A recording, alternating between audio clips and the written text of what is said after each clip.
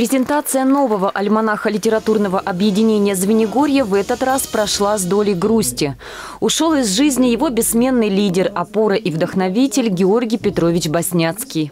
Георгий Петрович оставил очень большое наследие. И самое главное, что у него было огромное количество единомышленников, которые сегодня у нас, конечно, присутствуют в зале на презентации нашего альманаха.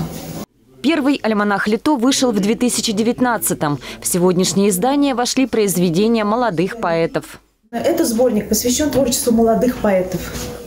И удивительным образом в нем нашло отражение, нашли отражение событий нашей новейшей истории.